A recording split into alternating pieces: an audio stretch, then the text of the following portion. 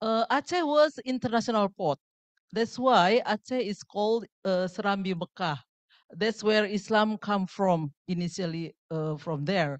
As international port, of course, uh, it is like international uh, area. And uh, the good news was that Aceh was under three consecutive uh, women's leaders, the Sultana, yeah. But it was stopped after the uh, fatwa issued from the Middle East that women cannot be a leader.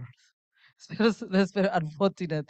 And uh, historically speaking, historically speaking, also after Aceh under Indonesia, uh, unfortunately the port was closed, and then uh, there has been like the exploitation of the natural resources in Aceh to the and uh, sent to the central government and with uh, little in return to Acehese uh, people. And it was very unfortunate that Aceh was under the military uh, operation, yeah, until uh, the new uh, until the new order government ended uh, in 1998, and there was long conflict, yeah, with the GAM, Gerakan Aceh Merdeka, and uh, there was a blessing in disguise in 2004. There was a tsunami and it uh, devastated the area, killed so many people. But after that, it was a transition that Aceh uh, becoming more peaceful place to live rather than uh, before under military or under the conflict of of GAM and uh, Aceh was given uh, the special uh, policy to implement uh, Islamic Sharia in Aceh. But in my understanding, as Muslim, I think a Muslim has already implemented uh, Sharia from a long time ago, yeah, as a Muslim. But here there is a political things, yeah, as if the, what Acehnese need is the implementation of Sharia, but it's only like the formalization of certain law. Yeah. What I, I don't think that's what really Aceh want. I, I, I think uh, uh, as a people, they want uh, to live in prosperous and peaceful uh, country. So I don't know up until now whether Aceh is has already been become a prosperous uh, place or not. Yeah. Uh, but uh, for me, the formalization of Islamic Sharia in Aceh has disadvantaged uh, many women because what I see, for example, the regulation issued by uh, Aceh's uh, government is like something trivial when the government cannot provide welfare for its society.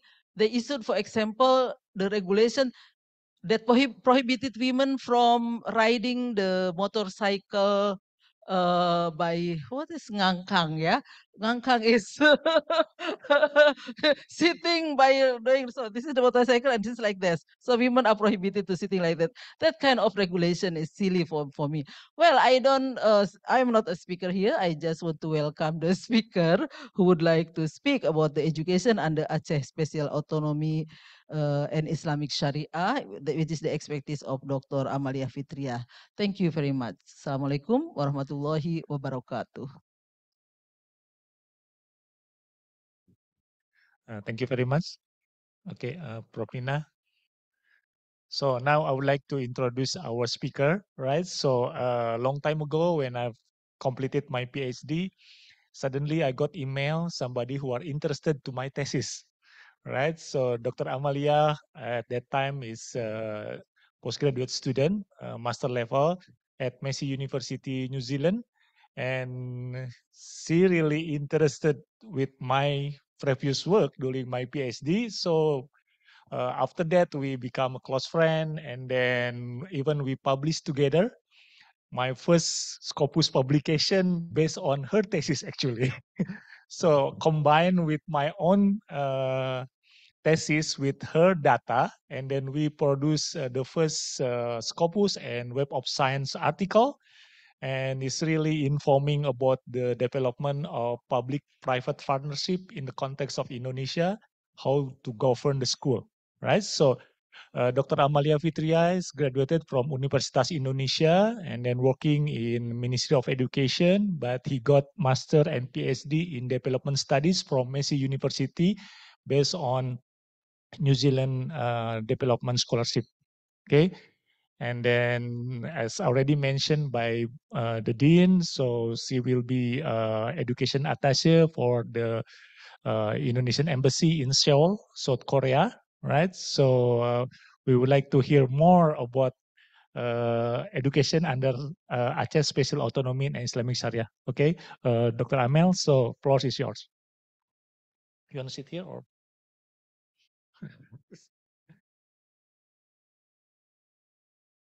Hati-hati, Mbak. Okay, please give him applause.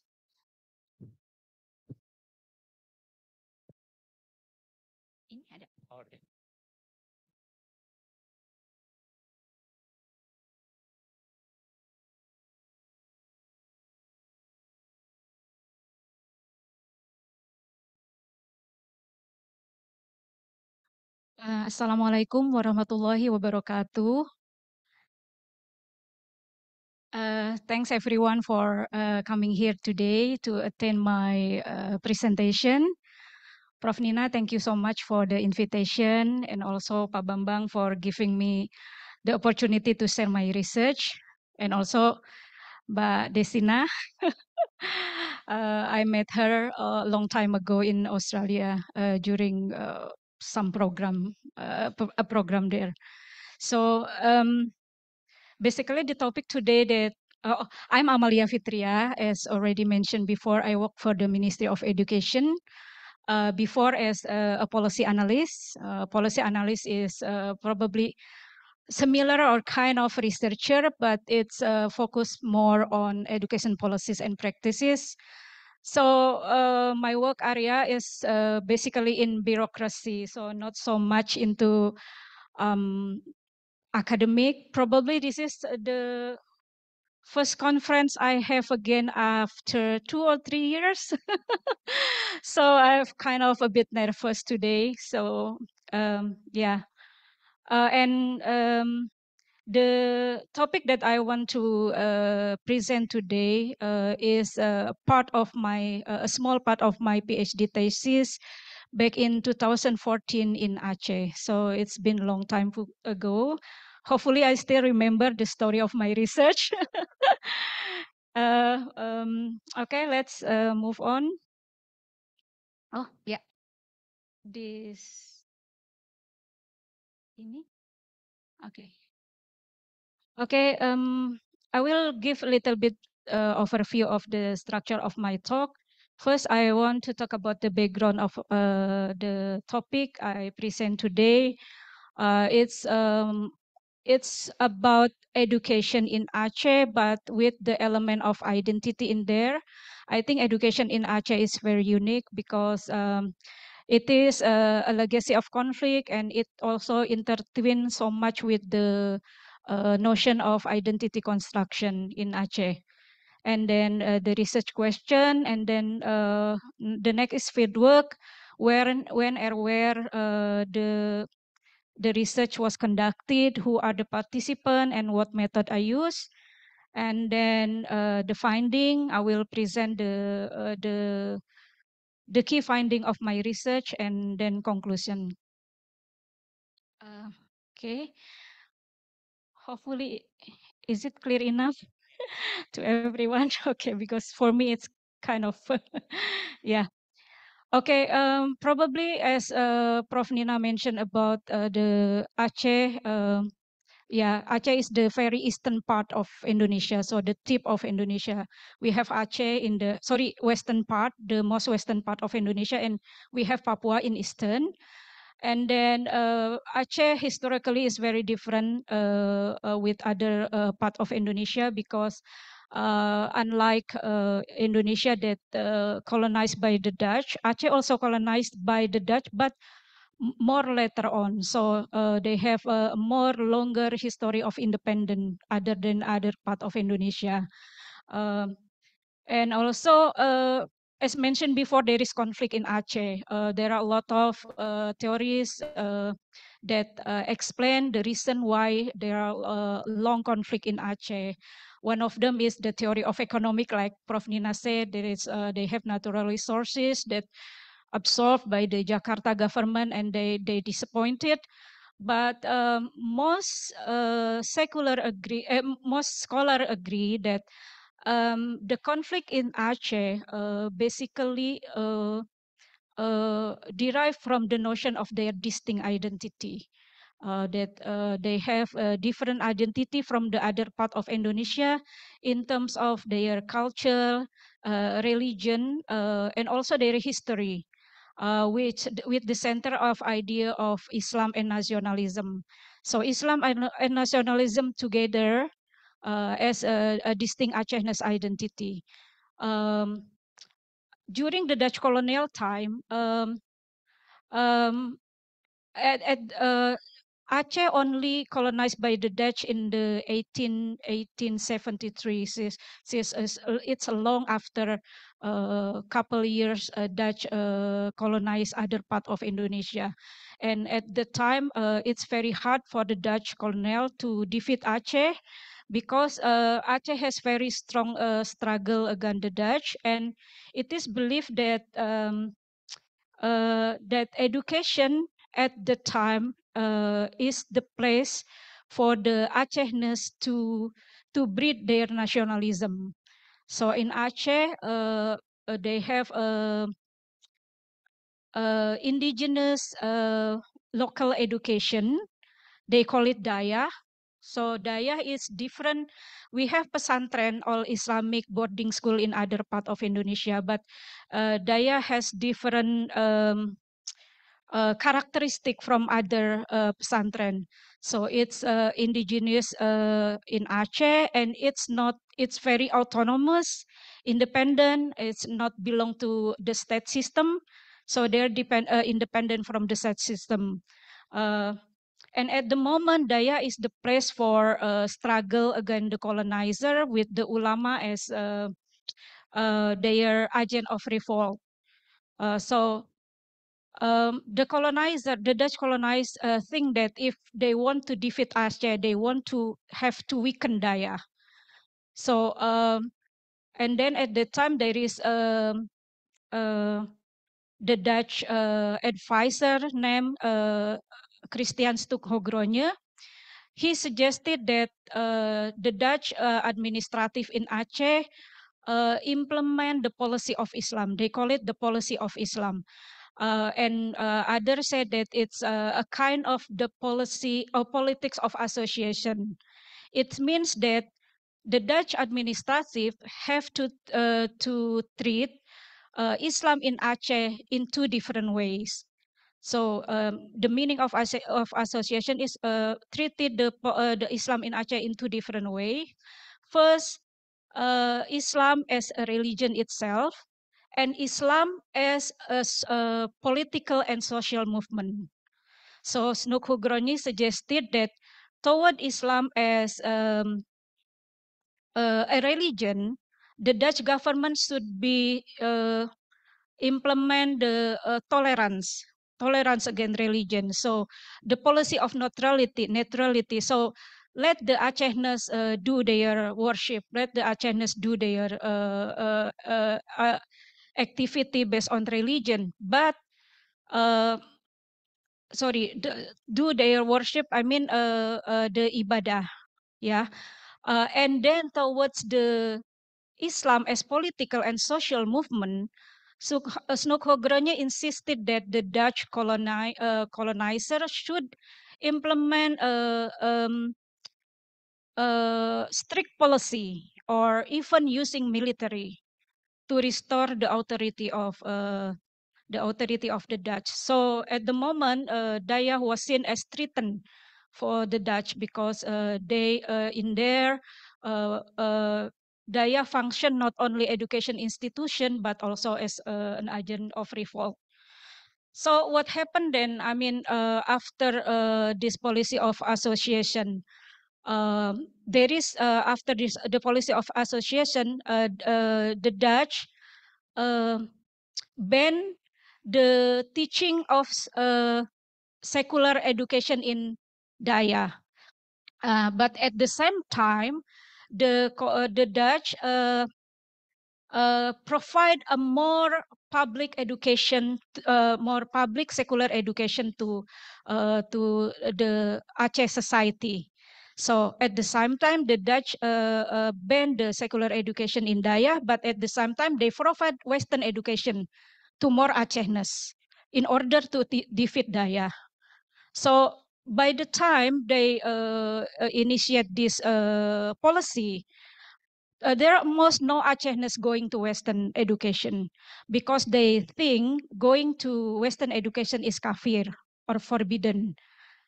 Okay, but uh, the success of this policy of association can be seen uh, during when it's uh, the World War II around 1940s, the number of secular education already exceed the number of religious education in Aceh. So at the moment, Aceh have two spirit uh, education uh, kind of education system.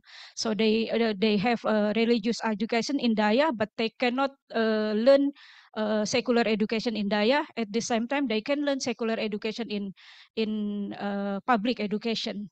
So this is the first time when the dichotomy be between uh, secular and religious education happened in Aceh as a result of the policy of uh, political association.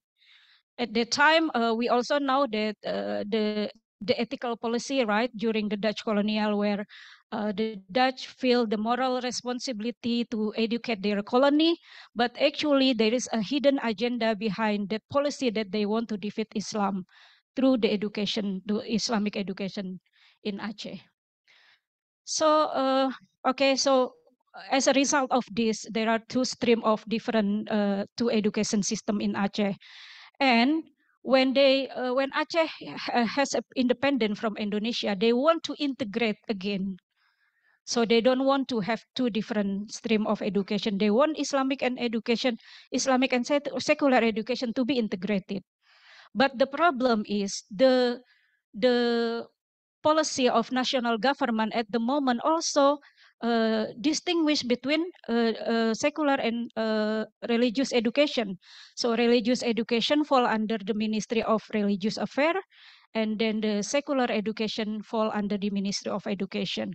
So this this separation between the two stream of education uh, happen, still happen.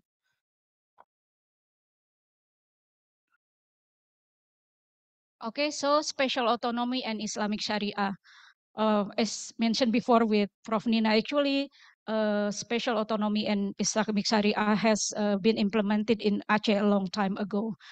So um, after independence, uh, Aceh think that uh, they they disappointed with Jakarta. So uh, there is there are a lot of serious of conflict. Right, we have before the era Istimewa and then Nanggroe Aceh Darussalam. So the different areas of conflict and uh, Islamic Sharia always uh, is already been there. But the difference is with the 2005 uh, peace agreement uh, is just uh, a year after the tsunami. So uh, Aceh and Indonesia agree to to settle the conflict with the peace agreement in Helsinki, and the difference is uh, with this agreement is the central government give a full authority of Aceh to govern themselves. So it's uh, it's a little bit different with decentralization, right? Because decentralization there is still uh, some some uh, business that goes to the central government and then uh, others to the uh, region or to the province. But uh, through the special autonomy uh, and then it, it, implemented through the law of governing Aceh, uh, uh, the Indonesian government or the central government give full, full authority for Aceh to govern themselves in three areas, education, religion, and custom. So these three areas, basically uh, the areas that always uh, related to the construction of construction of Aceh identity. Um, so since then, Aceh uh, govern their own education. For example, uh, they can have their own local regulation. Uh, they call it kanun in its Arabic language. So they have kanun, um, education, they have kanun in custom, and they also have kanun in Islamic uh, affairs. For example, the, the one that uh, Prof. Nina said before about women and other is also part of the kanun. So um, it can be good, it can be uh, bad. Yeah, I mean, it depends, depends of what areas that uh, they govern. In terms of education, um, uh, Aceh uh, try to uh, because they have long dream right to integrate the secular and uh, religious education but interestingly uh, in aceh uh, there are two different development in in in those areas and i will talk about it later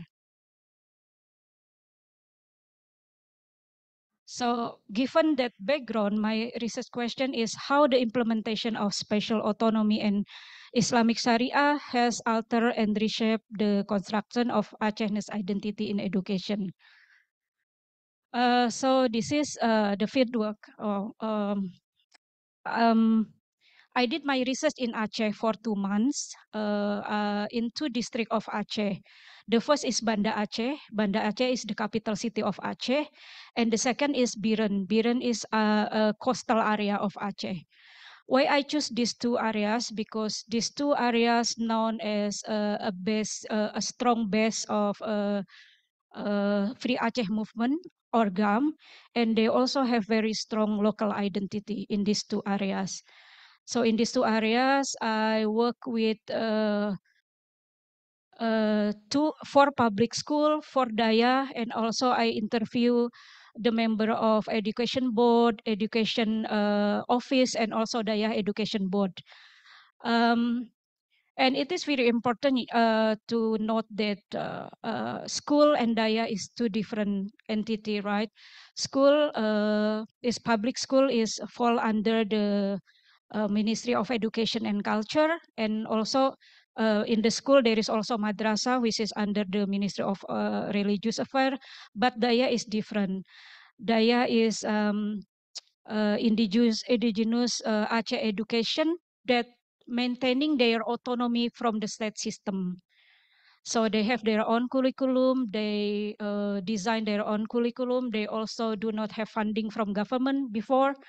Uh, and they teach only religious education based on uh, kitab kuning or yellow book they call it yellow book uh, and they don't have any uh, secular curriculum at all in the in the dayah so they only learn and teach about uh, islam.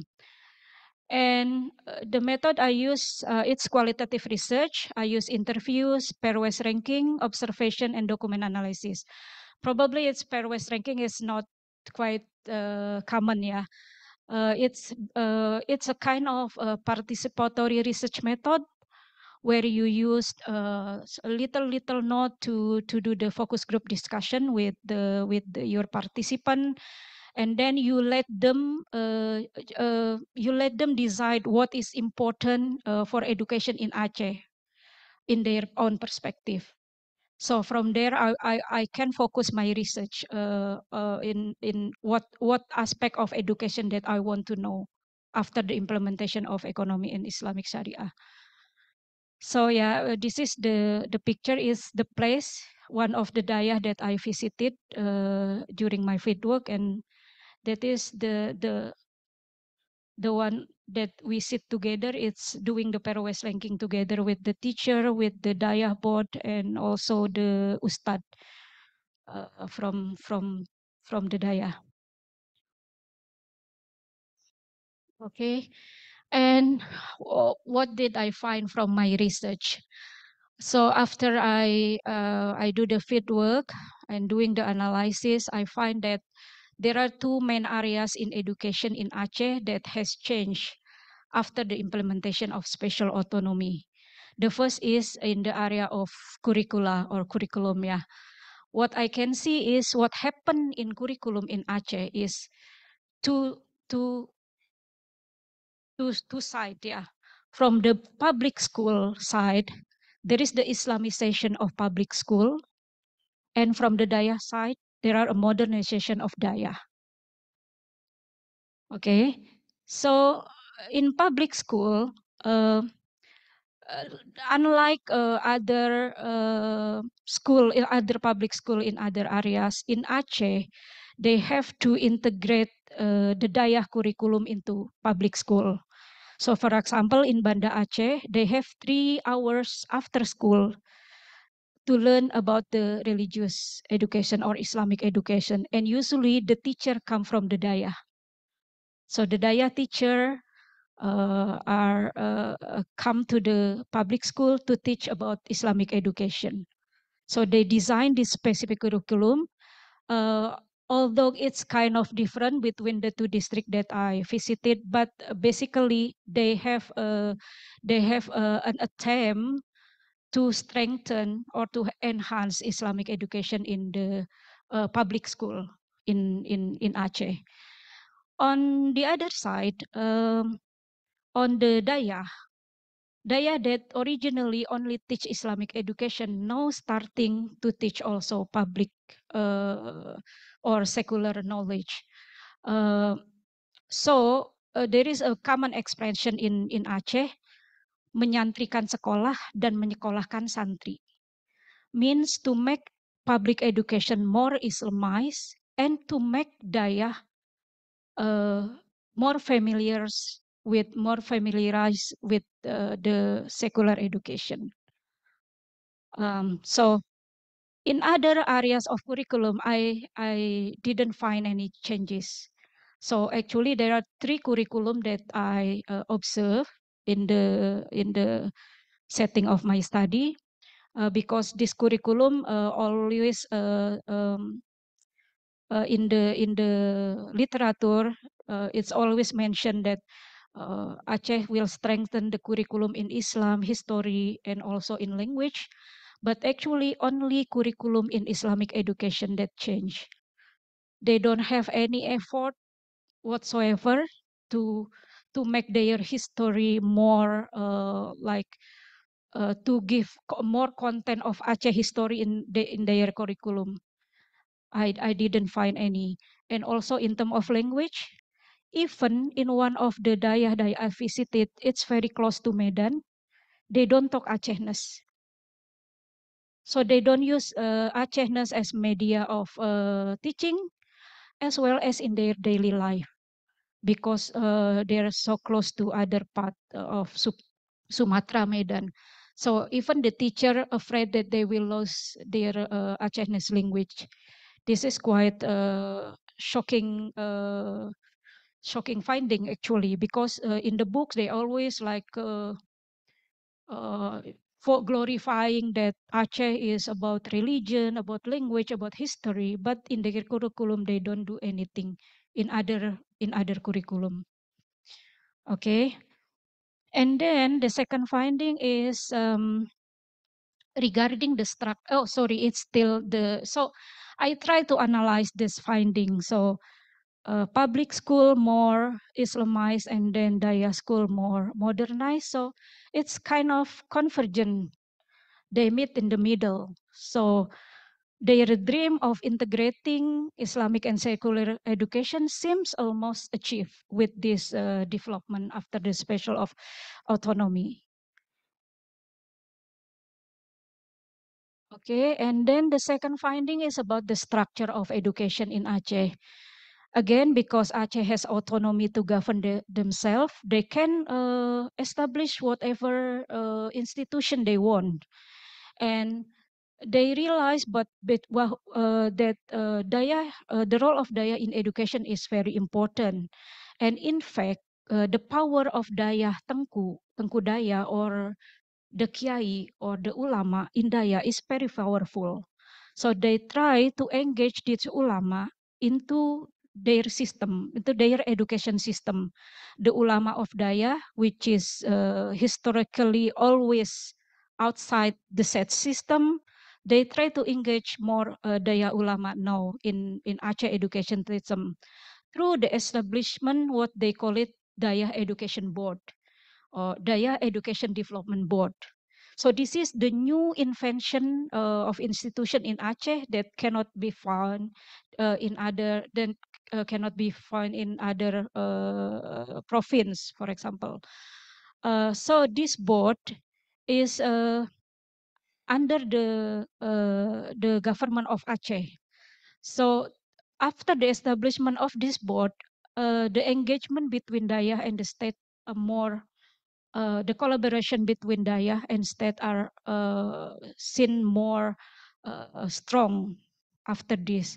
And also the most, uh, what I find in, is important as well, Dayah who usually did not, do not, did not rely on the state funding, now to start receive funding from the state through this, this body. So uh, after the implementation of uh, special autonomy, Daya uh, engagement, uh, Daya become a part of formal education system in Aceh.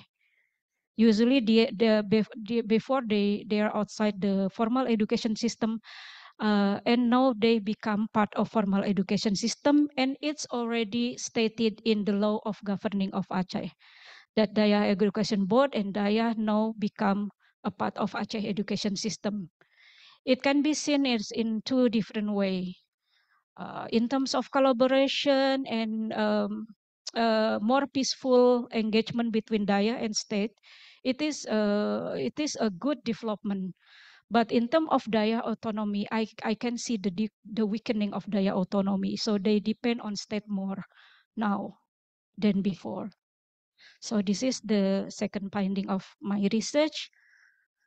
Uh, so the conclusion is so when after the special autonomy and Islamic Sharia um, that give the framework for the accommodation of Acehnese identity, it does not necessarily resulted in a more Islamized state education system, but it's more integration between uh, um, uh, religious and secular education. So they become a, a, kind of hybrid education system. So this is uh, what I called um, negotiated non-defensive identity discourse. So identity become more flexible, more acceptable, and hopefully more uh, less conflict between Aceh and the center government. Uh, okay, this is the end of my presentation. Thank you so much for the attention. Please don't give me any hard question.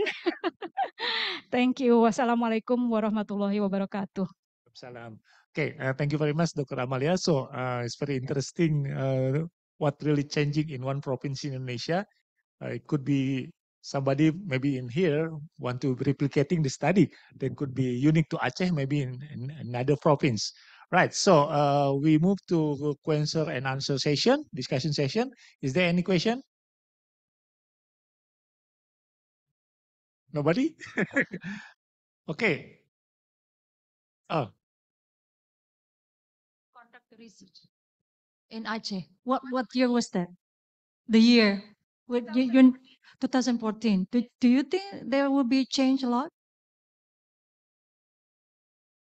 especially about the modernization or Islamization and then nothing as I found it shocking uh, about the content there's no no indication of modification or even the effort to strengthening the language aspect and history aspect so I would like to hear more about this yeah considering they are very strong identity but it seemed like they are just claiming and feeling proud but nothing not not much done in terms of how they can better improve their even their strong identity through education. Thank you so much.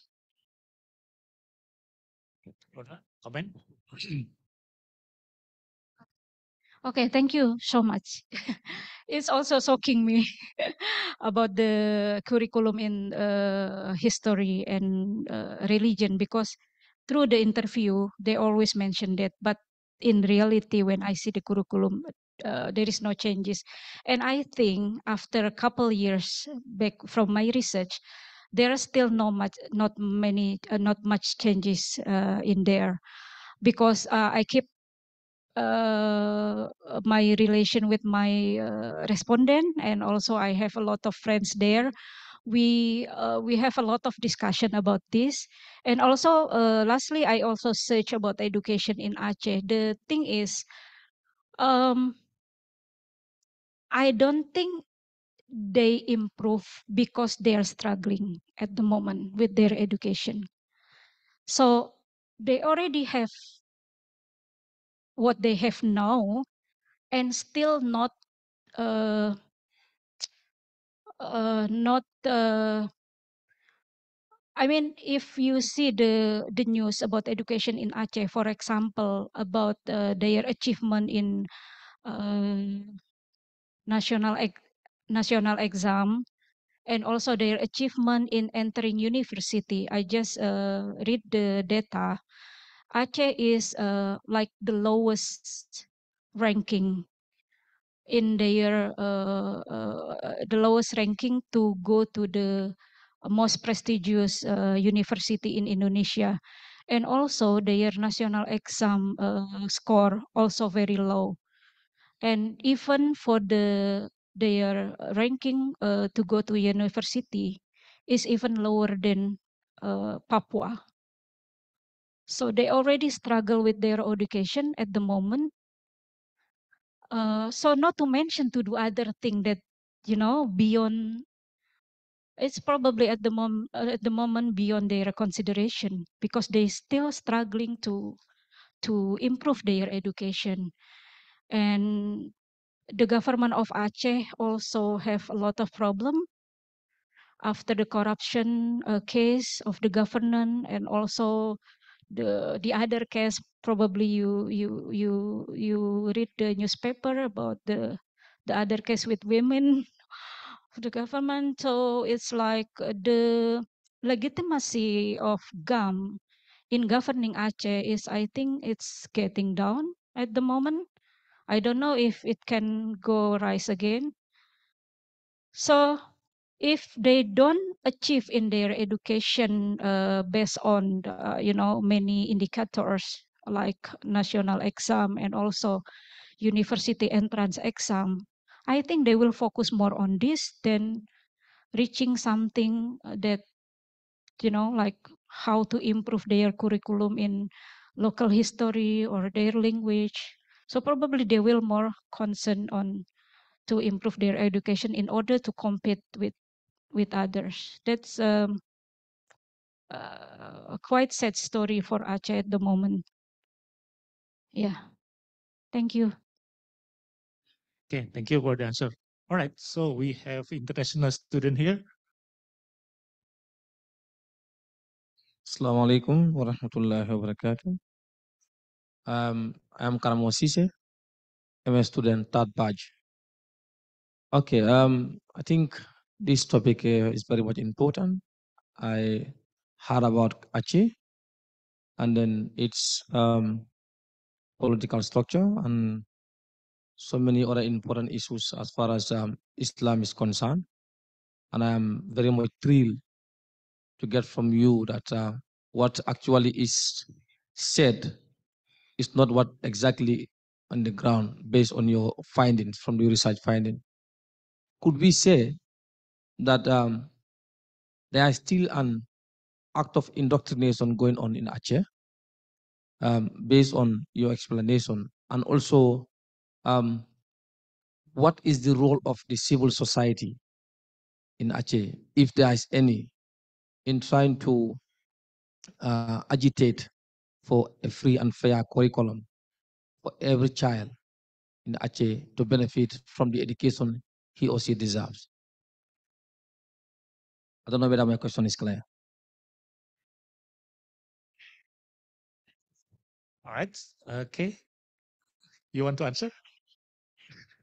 Uh, It's not really clear to me. uh, s- so, I'm so uh, sorry. right, okay, so uh, what the other civil society actors involving Oh, okay, okay, okay. education sector? Okay. Okay, so education in Aceh, uh, right? Uh, so basically in in in public education is quite similar to other other part of Indonesian province. They have a, what they call it education office, which is under the local government of Aceh.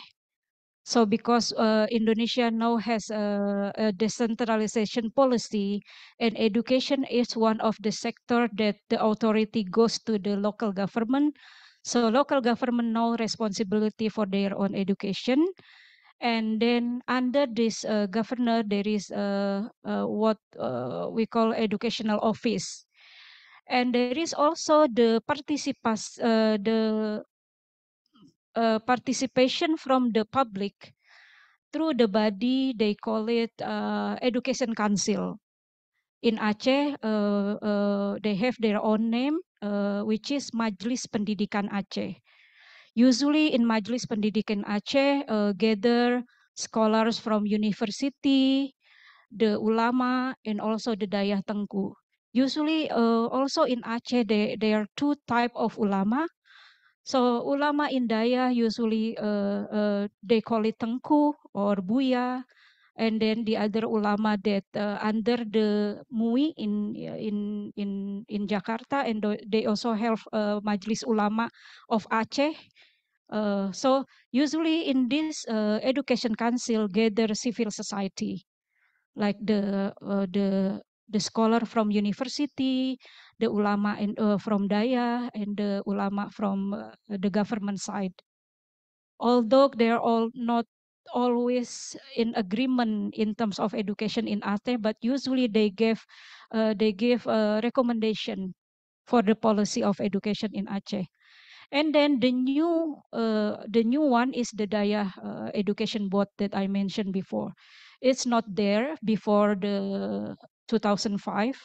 So it's just established after the law of government of Aceh that mandated that Aceh has a Dayah Education Board.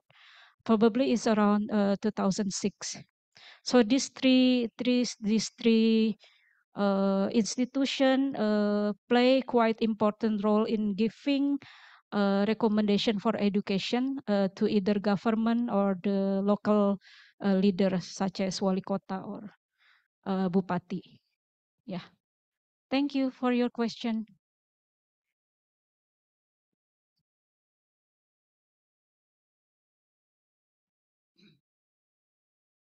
Assalamu alaikum. Uh, my name is Mahmoud and I'm from Afghanistan. Uh, while reading your dissertation, ma'am, uh, it I can recall three places in uh, in the case of Aceh, uh, the case of uh, the southern Thailand, Patani. it resembles more like Aceh's case, and to much more larger context in my country, Afghanistan. So, ma'am, I have two questions uh, in terms of coexistence with other minorities uh, in Aceh.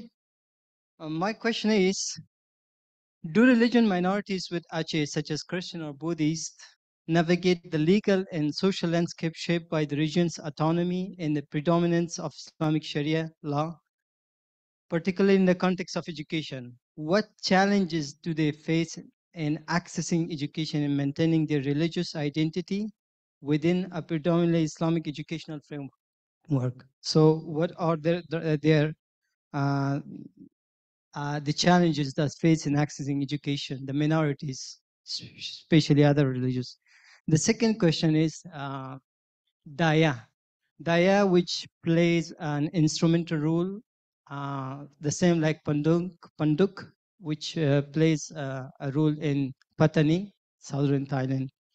So as you mentioned that uh, Dayah was independent, it was funded by a community uh, receiving from vegetables and other sources their income. But through the through the passage of time, they changed their reliance, financial reliance to the uh, uh receiving more funds uh, from the government with the help of BP, PD, and then uh, they not they were not trusting the dinars as well. So my question is, relying on government fund on their own was only their survival option or socio-political demand of the time to transform and coexist with the modern education? to like my question was like is it only their survival options to change their uh, financial uh, aspect from an independent part to uh, more rely on the government funding Okay, you got it? Okay, the first one is about the minorities uh, in Aceh, and the second one is about the involvement or the contribution of the uh, money from the government in terms of independence of Dayah. Okay. Okay, thank you so much also for giving me insight about what happened in other part that the case similar to Aceh. Um, about the minorities and how they live coexistently with uh, with other Aceh society. Um, actually, it's uh, beyond the area of my research, but during my stay uh, in Aceh, I also uh, happened to uh, visit some of the area that they have a Buddhist uh, Buddhist community, and also they have a, a Chinese community there, which is most uh, who are mostly Christian, and they they live as usual. They they don't wear scarf, for example, uh, and they also go to their own school. So there is Buddhist school in Aceh, uh, and there is also Christian school in Aceh, and it has no problem uh, with the either with the community surrounding the school and with the government as well. Because as far as uh, I heard from many participants, uh, they believe that uh, uh, Islamic Sharia only apply to Muslim. So then they uh, they don't ask uh, other uh, religious uh, uh, citizen there to comply to their to the Islamic Sharia. So there there is no problem with with the coexistence as far as I know. But again, this is beyond my research.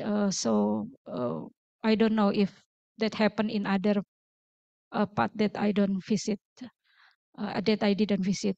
Okay, and the second about Dayah, uh, whether it's for their survival or uh, it's uh, political. I think it's not for their survival because Dayah already survived even in the hardest time of the history of Aceh, and they Dayah is very uh, well known as their, uh, you know, uh, spirit uh, of struggle. So usually the teacher of Dayah, uh, we call it Tengku, so like ustad in in other part of uh, Indonesia, but in in Aceh we call it tengku. Usually they have other uh, profession other than teacher. So after they teach, they either go to the farm or do some uh, um, other other profession. You know, uh, so they don't rely on uh, government, but because uh, the government voluntarily give them uh, uh, funding, they feel more leisure now. So they, you know, like after the funding of government, they, the Tengku said that uh, it's a, a peaceful, uh, a peaceful moment in Aceh now. We don't need to struggle anymore. The Tengku say, why don't we accept uh, the funding from the government? Nothing wrong with that. Because we already peaceful, we are not in struggle anymore. So that's one of the uh, the quote that uh, I heard from one of my participants. Uh, I don't think they really realize that their autonomy have become uh, weakening. So probably it's beyond their awareness that it happened. Okay, that's all. Thank you.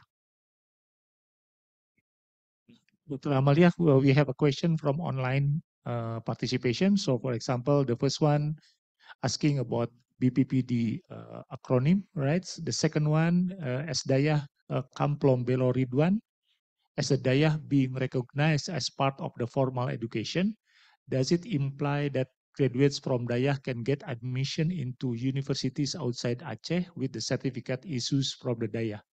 Would you like to answer that?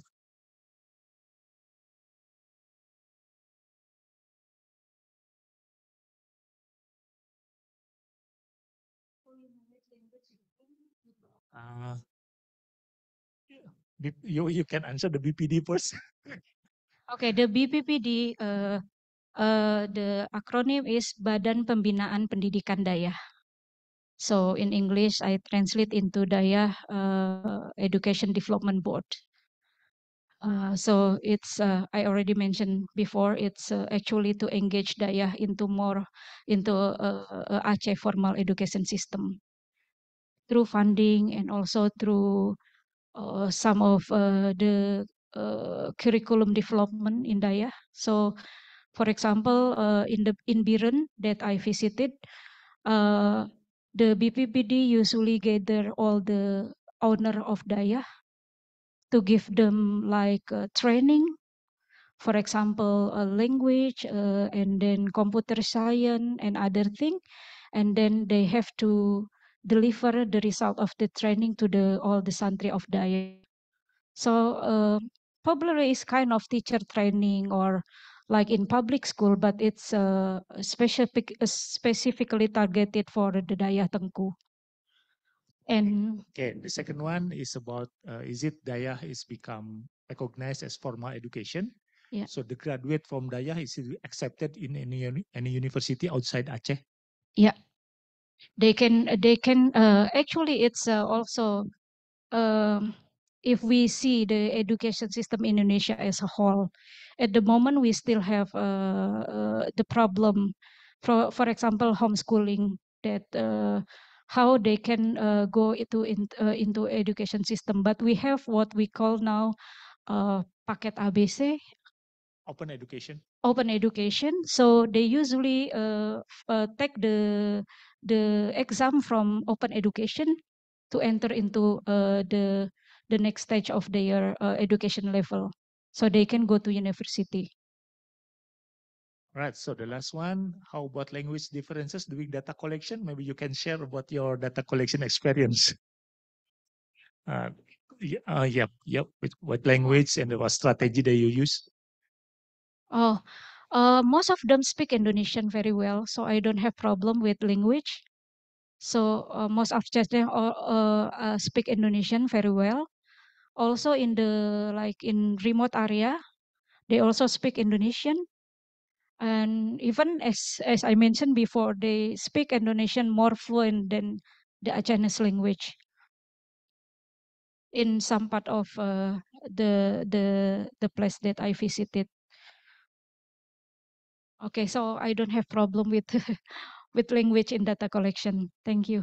Right. So, uh, okay, we have, uh, the, oh, oh, just wait. Okay.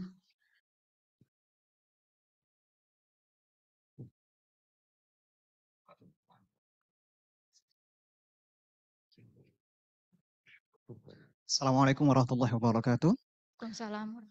Thank you for the chance, Professor. I would like to ask about the Dayah. I have a two question here. First, um, I would like to know, um, are Dayah adapted SNP, SNP, Standard National Pendidikan, or in English, National um, Standard in Education? So based on that, I have two questions. First, if Dayah is not used or adapted SNP or national standard in education, especially in curriculum aspect, curriculum standard. What is the reason they want to not be standardized as other school? Um, even it's good for our student future. And second, if yes, if Dayah adapted SNP, Standard National Pendidikan or National uh, Standard of Education, so Dayah um, facing same as madrasah that facing an SKB 3 Menteri. SKB 3 Menteri 1975 that um, facing struggling in curriculum, how they solve it about it. Thank you so much. Okay, Bu Amel, you want to answer? Okay, thank you. Uh, Dayah do not comply with standar nasional pendidikan or uh, national education standard. So they have their own curriculum. They design uh, their cu- curriculum. Uh, usually uh, among Daya almost similar, but they can have their specific curriculum in each daya. Depends. So uh, they said the curriculum is in daya is the tengku or the teacher. So what the effort the teacher teach you, that's the curriculum in dayah. So it's very varied variety of curriculum in dayah. But though they add more and more secular, uh, secular curriculum or public curriculum, but still not comply with the national education standard. So they didn't comply with the eight standard they we have in we have eight national education standard, right? Curriculum, uh, competency, uh, and facility, and so on. They don't they do not comply with that, and they don't want to be like uh, public education. They want to maintain their specific characteristic as Dayah because for them Dayah is the mandate of Aceh history. Dayah already there before other education institution uh, uh, uh, there, you know, like they're the oldest education institution in Aceh and they are historically very significant role in Aceh struggle and they do, they want to maintain.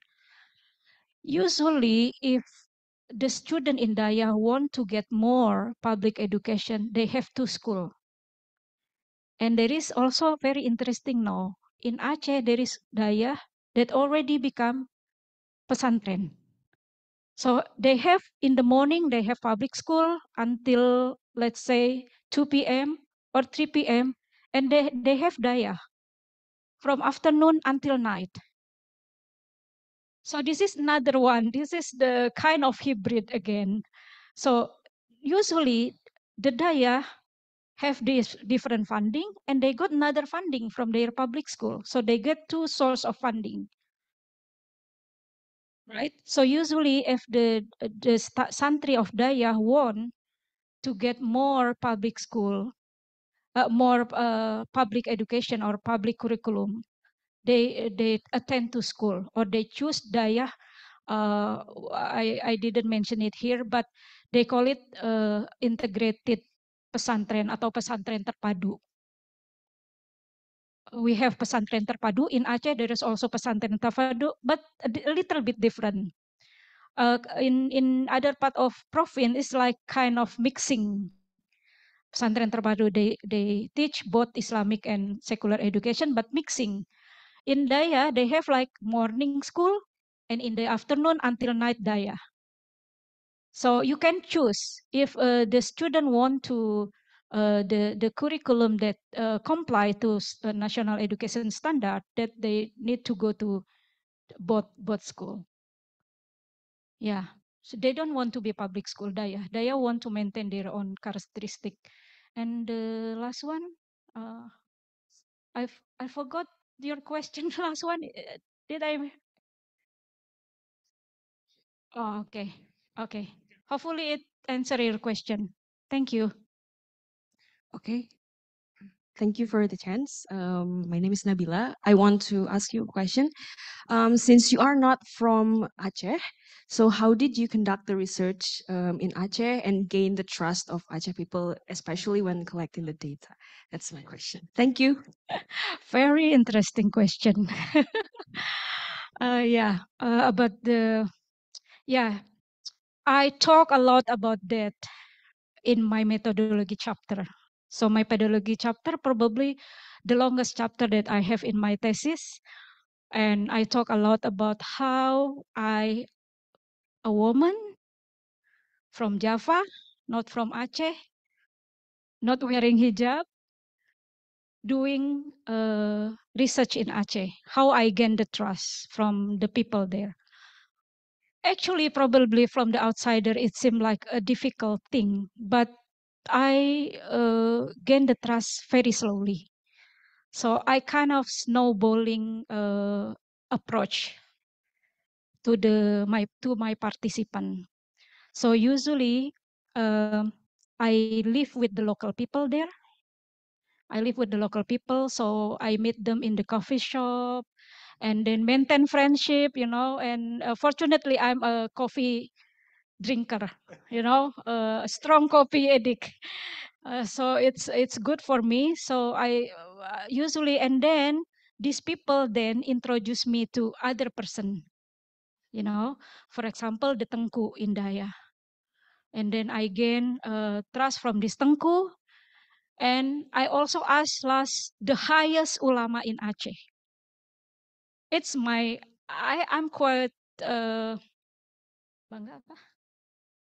I'm quite proud with myself, you know, because even one of Aceh's friend uh, surprised, how come you meet this kiai? This ulama is very famous kiai and very have a strong voice in Aceh politics and very difficult to meet this kiai. But I met this kiai and uh, uh, ulama they call it buya. So actually it's uh, he is originated from Yemen, but then uh, married with Aceh woman and become the kiai there and very strong influence in Aceh, not only in society but in politics as well. So finally, I get this uh, ulama, this buya, uh, to meet me and talk to me like for two hours, three hours, and he even uh, over me to stay in his uh, pesantren, in his dayah during my research, but I politely refused because, you know, I feel a little bit uh, restricted if I stay there, you know. uh, so yeah, uh, actually, uh, in it it need times. It need times. It need approach. You need to know the local culture.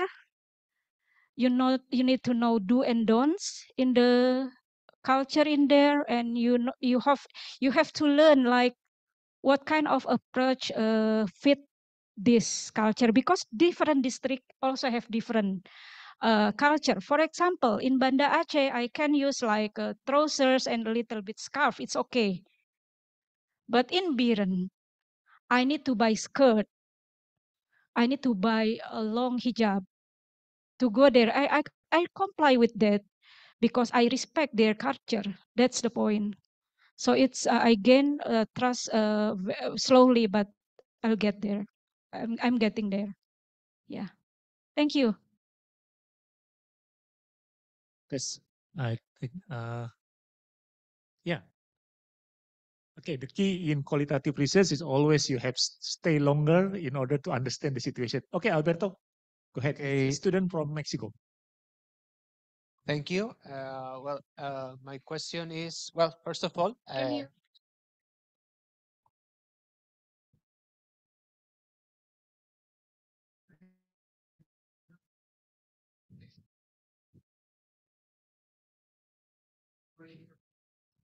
Test, test. You can use this. from my uh, perspective uh, as a foreigner, uh, when it comes about Indonesia, uh, they always sadly focus on bad things. And one of those is, for example, what happens in Aceh, uh, to the point that uh, some foreigners uh, generalize Indonesia as like being Aceh, sadly, in the sense to give a negative image about Islam.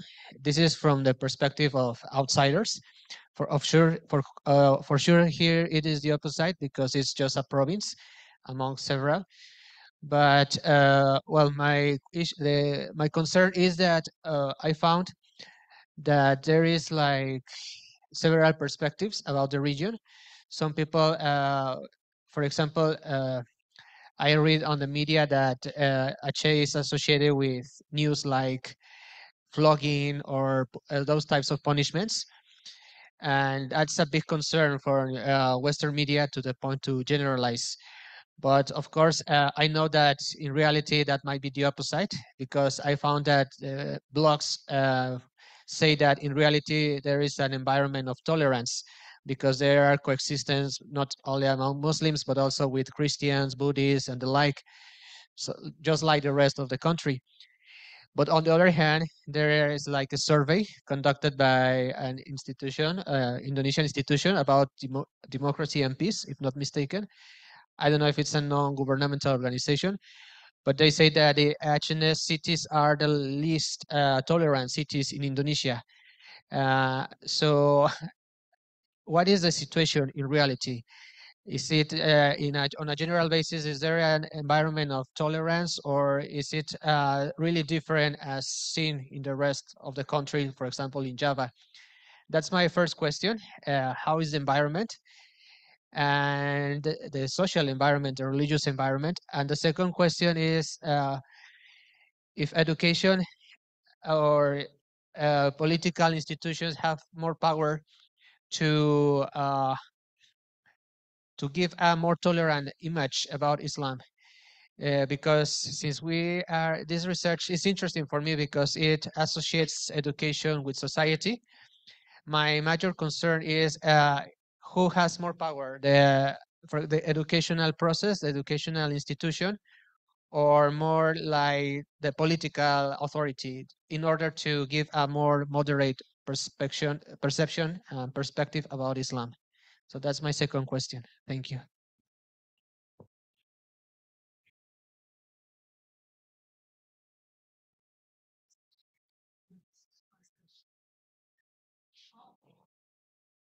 So about toler tolerance, it's in Aceh society. It's it's quite difficult for me to judge, to be honest. Yeah, it um, if uh, you know the report from the uh, that institution that give Aceh as the least tolerance, we need to understand about the indicator they have, right? And uh, I haven't read that, that, rep uh, that report, uh, but if it is uh, connected with the implementation of Islamic Sharia that ban women, for example, to go out after, uh, for example, 10 or 11 p.m. And then uh, for women to to comply to specific uh, uh, like clothes, you know, and then uh, because in Aceh itself, every district has different regulation. So, for example, the one that Prof. Nina mentioned about uh, the the forbidden for Aceh to to ride bicycle by you know like this, it's it's only in one district in Aceh, but not in another district. As I uh, told you before, I need to wear different kind of clothes, depend on different district. So it's it's uh, I'm sorry, it's very hard for me to judge, but based on my experience uh, living there for two months, again, women from Java not wearing hijab, I feel comfortable. Even I can, you know, I can kongko kongko, uh, make conversation in coffee shop until like 10, 11, it's okay. Sometimes they have like, they call it razia, razia. So they, but usually they they ask for your uh, identity card. If you are from outside Aceh, you are okay.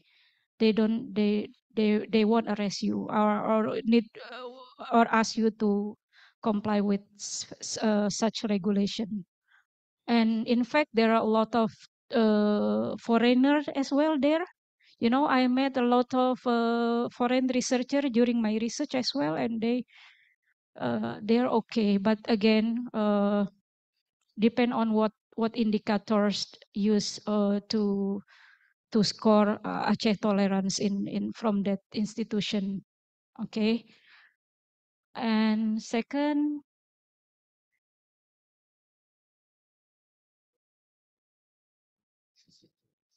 uh, about how uh, the the influence between uh, the political institution and uh, the religious institution in Aceh.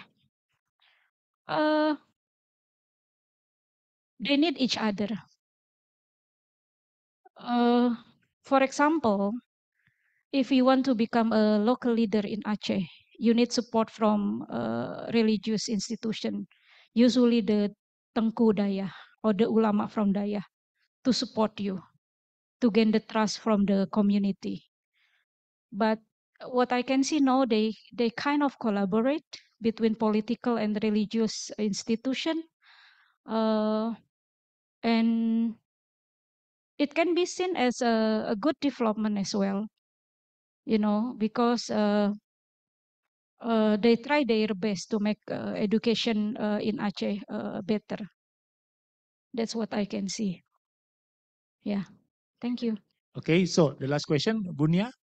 So is Bunia is come from Aceh. He's a lecturer here in Faculty of Social Science. Okay. Um, first of all, thank you so much for the very interesting presentation. Um, it, it's kind of, uh, it's not uh, an overwhelming at all for me to listen that there is now um, a good relation between state and education uh, institutions. But I just, you know, I have my own curiosity. For instance, when you draw your problematization from colonial experiences in Aceh, and then you jump uh, immediately to the um, post peace uh, condition, yeah, 2015. You you um, you you you you jump like you maybe not dismiss or omit. Maybe it is just a little bit being forgotten. I guess that there is uh, this kind of you know transformation of educational institution in Indonesia, you know, in the 20th century. Maybe we are familiar with the Kemendikbud and Kemenag as two separate identity. The Kemendikbud is the ministry uh, that you know that that um, involved in secular type of education, while the other hand, religious affairs also has you know involvement for education institution, but concentrated on religion. So I mean, um, when we draw the line that uh, you problematize, oh, okay, Dayah and public school was in that kind of uh, not good relation uh, with the state. So I think this is kind of a little bit going, you know, out of the line because we forget that the, the, the, the facts that Dayah during that time is not close to the government due to so many factors. And that is that kind of dichotomy in, in education, right? There is secular education and religious education, and it's systematized, and it's also affects Chinese people. Uh, and and this is applied to all global Muslim worlds basically that growing up, you know, defending the nationalism and and nation state establishment. So there is that kind of educational dichotomy that also, you know, you kind of see in the experiences of our Chinese. So I mean, um, you know, I have so much curiosity about what happened, what this dichotomy in Indonesia, why Indonesian people at the moment you know, has to struggle between Kemendikbud and Kemenag, you know, for education. Why not just rule under one, for instance? Is it is it preserving the legacy of colonialism or what? You know, so that is uh, majorly what what I would like to know. What what is your you know idea on that? Yeah, actually, you should help me before answer the question about Aceh. Thank you so much. Um, yeah, your curiosity also my curiosity. Why should be two different ministries dealing with education? Right. Uh, many factors, I think. Um, actually, at the moment, uh, the government of Indonesia already want to govern all education under one ministry but uh, it's also about resources you know struggle for resources.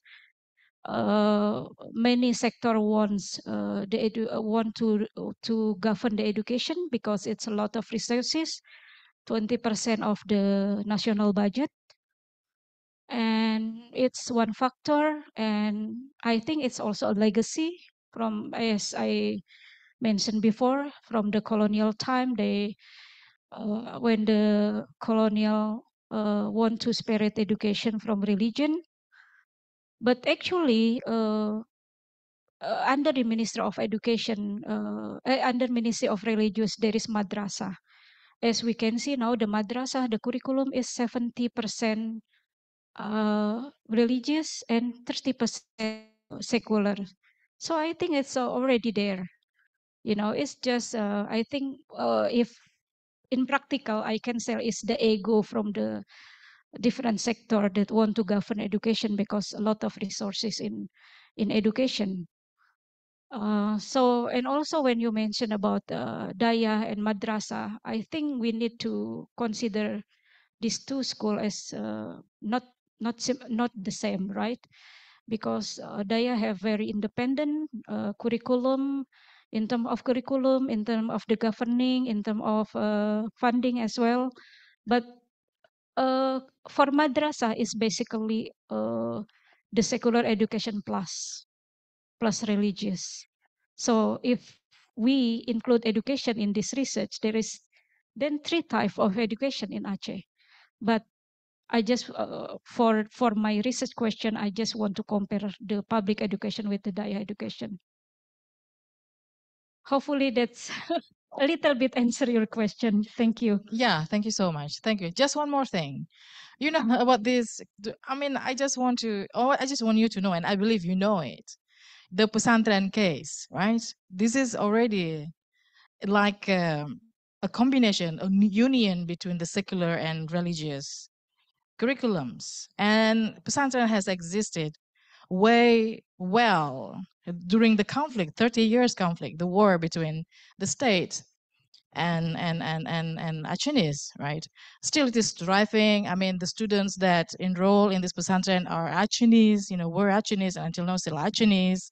I mean, there is that kind. There is no hostility, you know, with the secular education at all. I think, you know, there is all the time. Uh, there is. It's already accepted. It's a settled thing. What I see probably is that related to the question, the last one uh, question by this young man here, about the power. Who has more power? is it the educational sector or political authority? And I kind of see the latter one has more influences, you know, in imposing what kind of genre and aspect, you know, uh, that should be uh, owned by the dayah, for instance. Uh, so there, so yeah, I think uh, there is something related to that uh, when we talk about the state uh, relation. But to me, we've seen, you know, there is no problem with the secular and religious education to stand together and be thought together for a long time. Uh, Dayah has been eliminated due to the conflict and due to the funds, right, and due to the war and many other um, uh, aspects. And as you rightly pointed, that post-peace uh, process, it is just their time you know, to be given uh, widened attention and it's benefit the political authority too, especially those with the mindset of political identity and just want to go, you know, go go beyond um, the the power hegemony, whatever you call in provincial uh, area. yeah, just sharing, just a comment. That's all. Yeah, thank. Oh yeah, I mostly agree with you. Thank you. All right, so uh, thank you very much. So please give applause to Dr. Amelia. and okay, I'm really happy to share Oh, I think we already answered that one. Yeah, uh, all of them already answered. Okay, so uh, we like to thank you, Dr. Amelia Vitria. So it's very interesting. And oh, this one. Oh, the time is up. So maybe, uh, okay, Dr. Amelia. There's a, a burning question here. And he said, I'm originally from Bireuen, spent 10 years of traditional Dayah. It's good to be involved in discussion. What is your view as a researcher? Is it necessary to modernize there? Or should be the government make this one as priorities to be developed? Because of the result of curriculum Aceh is located in Tengku and this is very objective whether this can be sustained. So,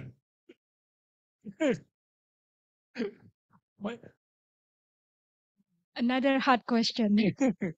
From Nurul Iza. Yeah, for me, uh, what uh, the the development of education that I like the the picture before Dayah and public education and they meet in the center. You know, it's like it's a it's a good development. It's a good development. So Dayah before the like uh, they only think about uh, uh, religious kitab kuning and uh, and other thing. And now they realize that they need other skill other than uh, what already stated in kitab kuning. In in my research uh, usually uh, the secular education added in Dayah, for example, uh, language, English, computer science, uh, and also um, language conquer and other practical thing that needed by the santri in their daily life. So I think it's a good thing. Uh, the curriculum center in the Tengku can be good, can be can can be not good yeah because it depends if the tengku is uh, open minded and try uh, to get more knowledge from to time it's good for the santri but if the tengku like uh, don't want to develop uh, his own knowledge and then it's not good for the santri so it's very deep depend again uh, on the context and on the tengku themselves I believe that's that's my answer thank you okay, thank you very much, uh, Dr. Amalia Vitria. So uh, we come to close to the discussion, and then the dean have something uh, for you. uh, must as a token of appreciation from our faculties. Okay, um, would you like to take?